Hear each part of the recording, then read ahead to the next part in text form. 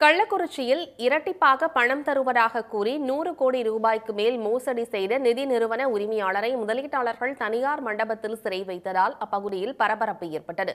கள்ளக்குறிச்சி மாவட்டம் மூரார்பாளையம் கிராமத்தில் சமீர் அகமது என்பவர் தனது பெயரில் நிதி நிறுவனம் நடத்தி வந்துள்ளார். இவர் இரட்டிப்பாக பணம் தருவதாக ஆசை வார்த்தை கூறியதை அடுத்து கள்ளக்குறிச்சி மாவட்டம் மட்டுமல்லாது தமிழ்நாட்டின் பல்வேறு மாவட்டங்களைச் சேர்ந்த ஏராளமானோர் ஏறத்தாழ நூறு கோடி ரூபாய் அளவிற்கு பணம் செலுத்தியதாக கூறப்படுகிறது. இந்நிலையில் திடீரென சமீர் தலைமறைவாகியுள்ளார். அவர் சென்னையில் பதுங்கியிருந்ததாக கூறப்படும் நிலையில் கார் நிறுவனத்தில் இருந்து அவரை பிடித்து வந்த முதலீட்டாளர்கள் நிதி நிறுவனம் செயல்பட்டு வந்த மூரார்பாளையத்தில் உள்ள தனியார் மண்டபத்தில் அடைத்து வைத்தனர். இதற்கிடையே சமீர் அகமது கடத்தப்பட்டுள்ளதாக அவரது மனைவி கள்ளக்குறிச்சி எஸ்பி அலுவலகத்தில் புகார் அளித்தார். புகாரை அடுத்து கள்ளக்குறிச்சி டிஎஸ்பி ரமேஷ் தலைமையிலான போலீசார் முதலீட்டாளர்களிடமிருந்து சமீர் அகமதுவை மீட்டு காவல் நிலையத்திற்கு விசாரணைக்காக அழைத்துச் சென்றனர். இதற்கு எதிர்ப்பு தெரிவித்த முதலீட்டாளர்கள் சாலை மறியலில் ஈடுபட்டனர்.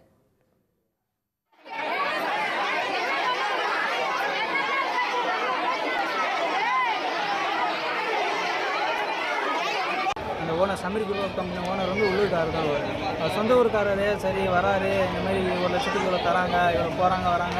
சொல்கிறத நம்பி தான் நாங்கள் வந்து இன்வெஸ்ட் பண்ணோம். சரி உள்ளூர்காரங்க எங்கேயும் எங்களை விட்டு போக மாட்டாங்க.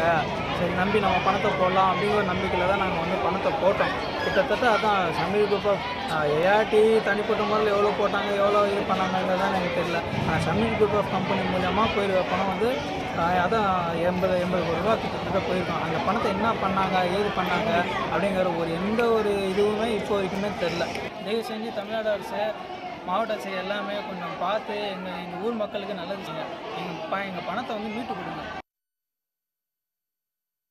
இரு தரப்பினரையும் காவல் நிலையத்திற்கு அழைத்துச் சென்ற போலீசார் அவர்களிடம் மோசடி குறித்து தொடர் விசாரணை மேற்கொண்டு வருகின்றனர். இச்சம்பவத்தால் அப்பகுதியில் சில மணி நேரங்களுக்கு பரபரப்பு நிலவியது. உடனுக்குடன் செய்திகளை தெரிந்து கொள்ள சன் நியூஸ் பெல் கிளிக் பண்ணுங்க.